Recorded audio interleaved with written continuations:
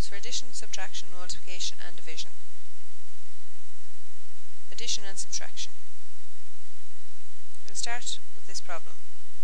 If it was 9 degrees Celsius and I got 6 degrees hotter, what temperature was it? So here we have plus 9, I got 6 degrees hotter is plus 6 equals. So the first thing you always do in these problems is check if the numbers you want to add or subtract have the same sign or different signs. So if we look at this question, they have the same sign. So if they have the same sign, we add them and keep the same sign. So we add them, so 9 and 6 is 15, and keep the same sign is plus 15. So our answer is plus 15 degrees Celsius. So now we look at another example. If it was minus 2 degrees and it got 4 degrees colder, what temperature was it? So we have minus 2 and it got 4 degrees colder, which is minus 4. So what temperature was it? So we use the same rule again. If they have the same signs, add them and keep the same sign. So 4 and 2 is 6, and keep the same sign, so it's minus. So now the temperature is minus 6 degrees Celsius. Now look at our next problem. If you had 16 sweets and you ate 7, how many have you now? So again, it's plus 16. You ate 7 means minus 7. So this time our signs are different. So the rule for different signs is take the smaller number from the bigger number and keep the sign of the bigger. So we'll take the smaller from the bigger, so 7 from 16 will leave us with 9, and we keep the sign of the bigger, which is plus. So we have plus 9, so we're going to have 9 sweets.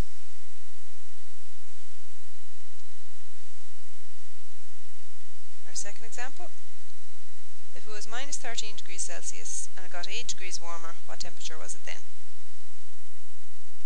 Okay, so this time we start with a minus 13. And if I got 8 degrees warmer, we're adding 8. So again, our signs are different, so we're going to take smaller from the bigger and keep the sign of the bigger. So we have 8 from 13 will leave us at 5. And we're keeping the sign of the bigger, which is minus. Now we look at multiplication. There are four possible cases when multiplying integers. To look at the first case, we'll take an example. If you have 9 euro in your pocket and your friend had twice as much as you in their pocket, how much have they? So here we have a plus 9, and your friend has twice as much, so we're multiplying by plus 2 equals. So in this case we have a plus by a plus, which will give us a plus. So our answer is going to be a plus. And 9 by 2 is 18.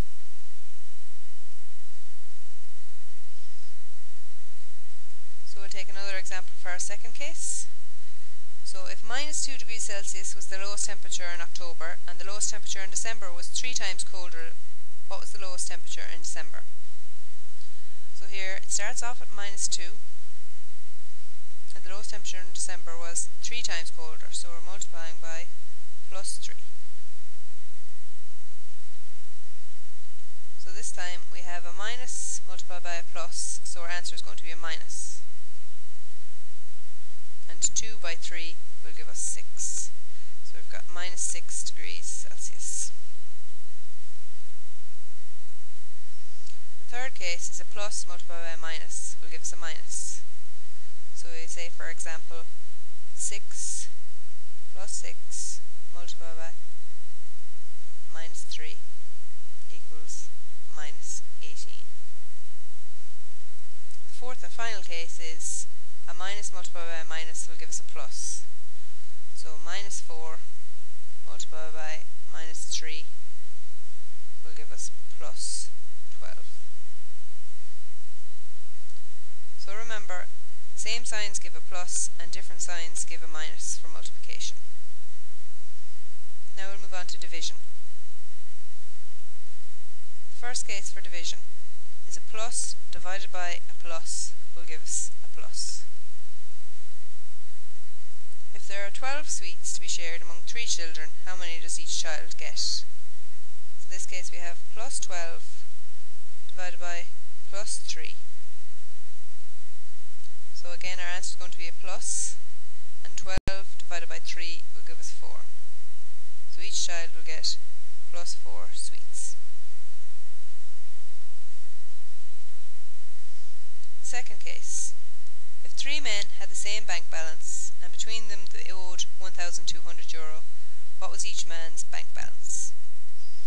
Okay, so in this case we're going to start off with minus 1,200 and it's going to be divided among three men, which is plus 3.